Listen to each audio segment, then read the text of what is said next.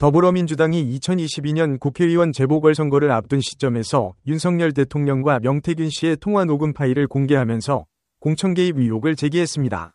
31일 더불어민주당 박찬대 원내대표는 국회에서 기자회견을 열어 2022년 5월 9일 윤 대통령과 명 씨의 통화 내용이 담긴 녹취를 공개했습니다. 공관위에서 나한테 그 들고 왔길래 내가 김영선이 경선때도 열심히 뛰었으니까 너는 김영선이 좀 해줘라 그랬는데 이게 말이 많네 진짜 평생을 잊지 않겠습니다. 고맙습니다. 예.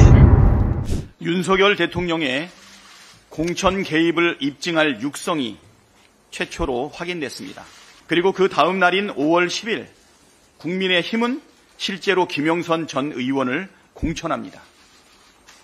이는 윤석열 대통령이 불법으로 공천에 개입했고 공천 거래가 있었다는 움직일 수 없는 증거이자 헌정 질서를 흔드는 위중 사안임을 입증하는 물증입니다.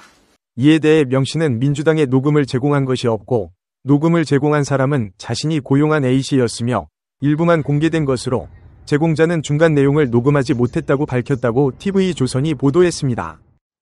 공관위에서 나한테 그 들고 왔길래 내가 김영선이 경선때도 열심히 뛰었으니까 너는 김영선이 좀 해줘라 그랬는데 이게 말이 많네 진짜 평생을 잊지 않겠습니다. 고맙습니다. 예. 소셜미디어 테이입니다.